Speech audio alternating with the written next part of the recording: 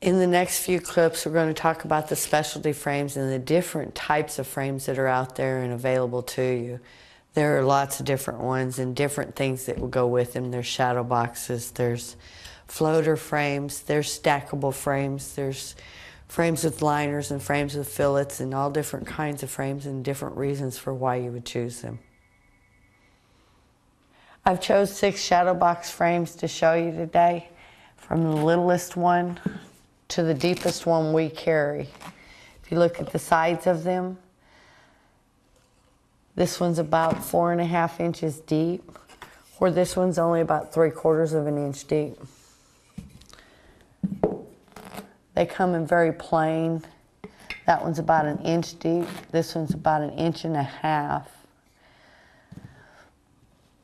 This one is also about an inch and a half. This is about a two incher. And this one here is about four and a half inches, like I said.